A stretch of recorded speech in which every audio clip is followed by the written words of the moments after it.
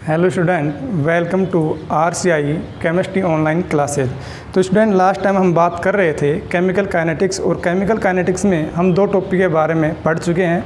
अब तीसरा टॉपिक जो हमारा होगा, वो होगा relation in between reaction rate and stoichiometry तो देखना स्टूडेंट आपको एक रिएक्शन दी गई है।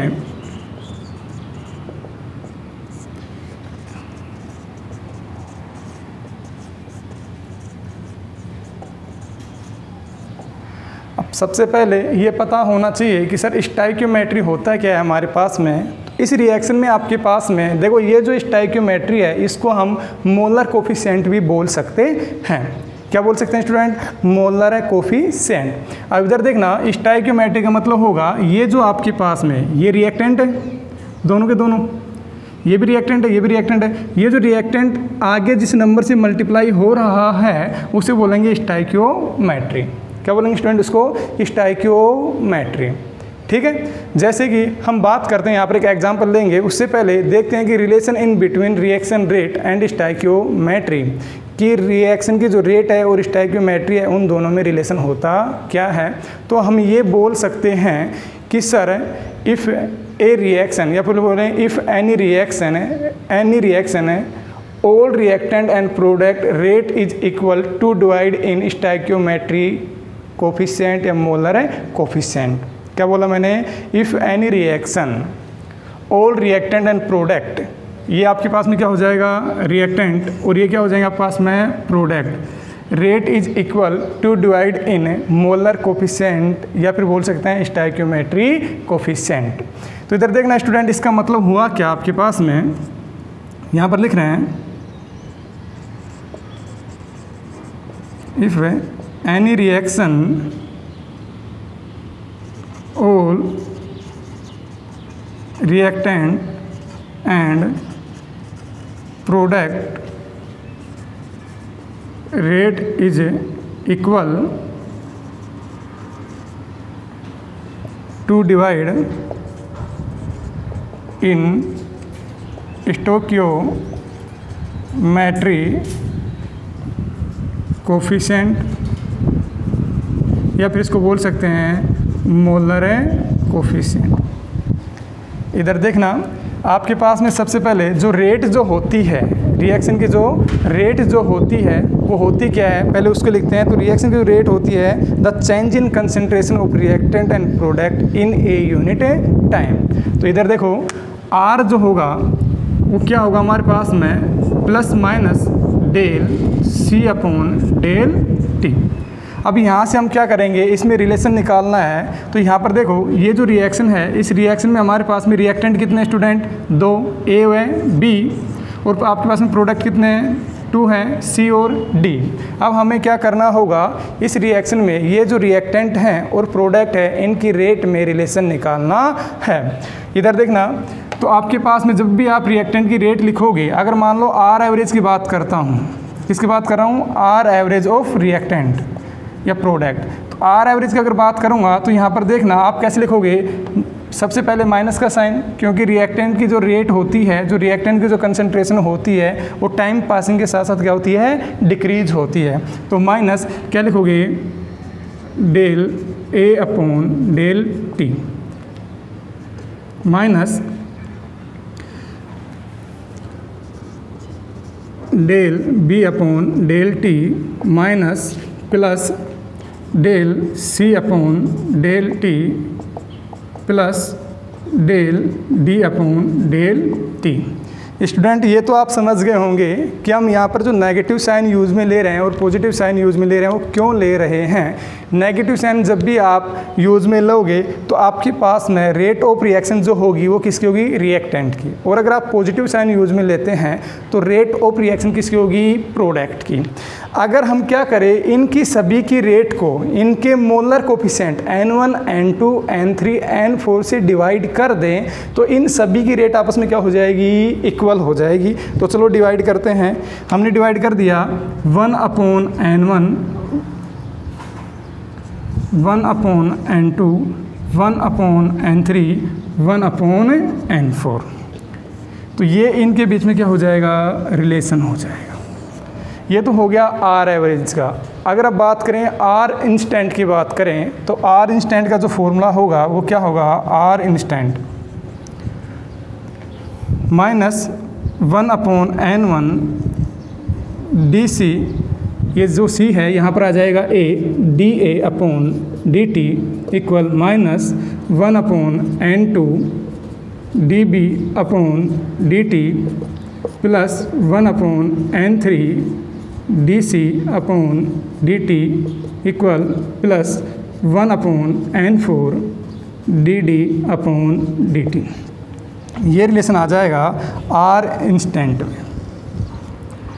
ठीक है स्टूडेंट तो हमने क्या देखा कि आपके पास यहाँ पर रेट निकालनी है। आपने रेट निकाली आर एवरेज और फिर किसके बारे में बात की? आर इंस्टेंट के बारे में। अगर इन सभी reactant all reactant and product की रेट को इक्वल करना है तो इनके मोलर कोपिसेंट से अगर इनको डिवाइड कर दें तो इन सभी की रेट आपस में क्या हो जाएगी? इक्वल हो जाएगी। जैसे कि एग्ज़ाम्पल की बात करते हैं। यहाँ पर एक एग्ज़ाम्पल दिया हुआ आप लोगों को। एक रिएक्शन है, टू एच आई कन्वर्ट हो रही है एच टू प्लस में आई टू। तो स्टूडेंट यहाँ पर ये क्या हो जाएगा पास में? रिएक्टेंट और ये दोनों क्या हो जाएँगे? प्रोडक्ट अब हमें करना क्या है? अगर इसके अकॉर्डिंग बात करें तो इनकी रेट व स्टाइक्योमेट्री में, इनकी जो रेट है आपके पास में, इनमें अगर रिलेशन निकाल लें तो क्या हो जाएगा? वन अपॉन देखो ये हो जाएगा एन वन इसके आगे अगर एक से मल्टीप्लाई कर दो, कितने से? एक से। तो कितना हो जाएगा? वन अपॉन एन वन लिखेंगे del H I upon del T ये माइनस का हो जाएगा, अगर हम आर एवरेज की बात करेंगे तो। Equal minus one upon plus sorry product की आएगी del H two upon del T plus one upon N three del I two upon del T यहाँ पर एन वन कितना दिया गया स्टूडेंट आपको? टू यहाँ पर एन वन कितना दिया गया है? टू एन टू कितना दिया है? वन और यहाँ पर एन थ्री कितना दिया है? वन बस सवाल soul. One upon two del H I upon del T equal plus one upon one del H two del T plus one upon one del I two upon del T तो student यहाँ पर इस type के थोड़े से सवाल आपके पास में आएँगे न्यूमेरिकल क्वेश्चंस जो आएँगे, उनको हम सोल्व करने की कोशिश करते हैं। यहाँ पर एक न्यूमेरिकल दिया हुआ है, उसको अगर हम सोल्व करें तो देखते हैं numerical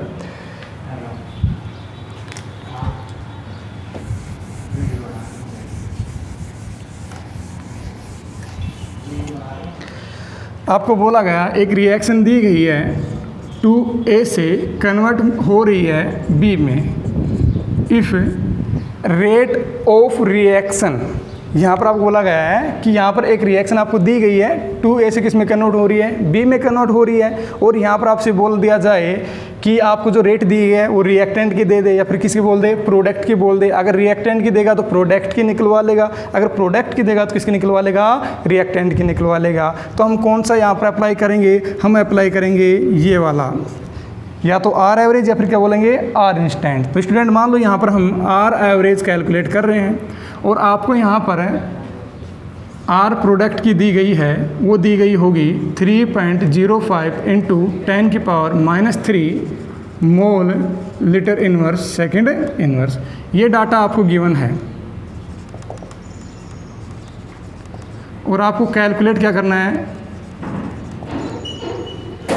are reactant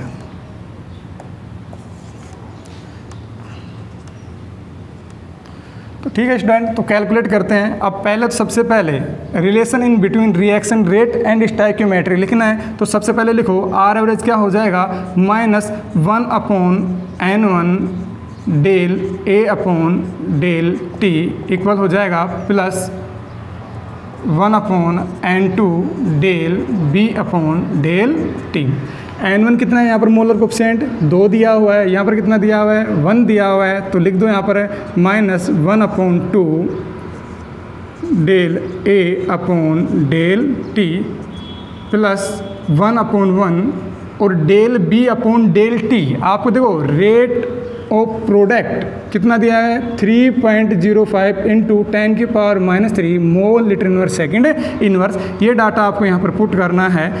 Three point zero five into ten की पावर माइनस में थ्री आपको निकालना क्या स्टूडेंट यहाँ पर है? रेट ऑफ़ रिएक्टेंट ये जो आपको दिया गया है, एक बटा दो minus del A upon del T इसको बोलते हैं रेट ऑफ़ रिएक्टेंट क्या बोलते हैं? रेट ऑफ़ रिएक्टेंट ये आपको कैलकुलेट करना है और आपके पास में है क्या? थ्री इंटू टेन की power minus three mole litre inverse second inverse. तो स्टूडेंट, इस दो को इधर मल्टीप्लाई कर देंगे। तो हमारे पास में क्या जाएगा?